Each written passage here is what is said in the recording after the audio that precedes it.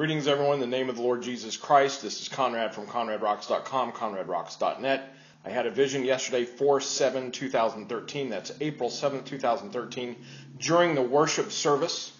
Um, and um, the Lord wanted me to, it's strong. The Lord wanted me to upload this video today. I'm a little late, but I got to get it up, got to be obedient.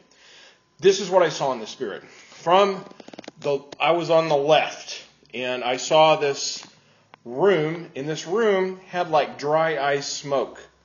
Uh, the reason I call it dry ice instead of the Shekinah glory, because I, it could have been the Shekinah glory cloud, but this smoke seemed to settle at the bottom. Uh, and this man, dressed in very costly apparel, very expensive apparel, lots of colors. Um, it was an outfit of some type, and, and then he had the gold pointed hat that you see the people prominent in the Catholic Church wear. Um, I'm not sure if it was a Catholic. I don't know. I don't. I'm not Catholic, so I don't know. In his hand, he was he had a he was holding something in his hand. It looked like a globe. It looked like a globe. I saw swirls of gold and blue. I didn't know what the globe was. It looked like the planet Earth, kind of if it was, uh, I mean, it could have been, I don't know. He was approaching something.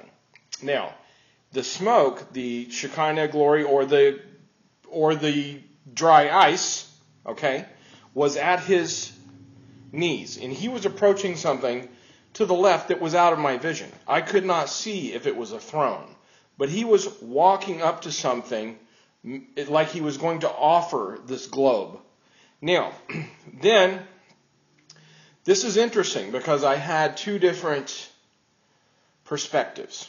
In the spirit, I saw him, uh, I perceived him to go up five golden steps.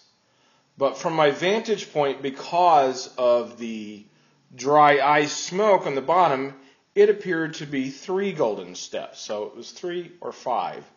And then I came out of the Spirit and was back in the worship service. So there you go. I don't know what it means. I'm submitting this to you for you to judge in Jesus' name. Check out ConradRocks.com. Let me know what you think. Oh, I'm going to put this in the prophetic community. God bless you. I love you guys.